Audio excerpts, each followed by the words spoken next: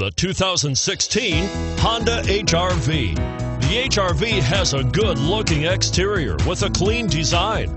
It comes with a well tuned suspension and a handsome and flexible interior with tons of options to choose from. This vehicle has less than 100 miles.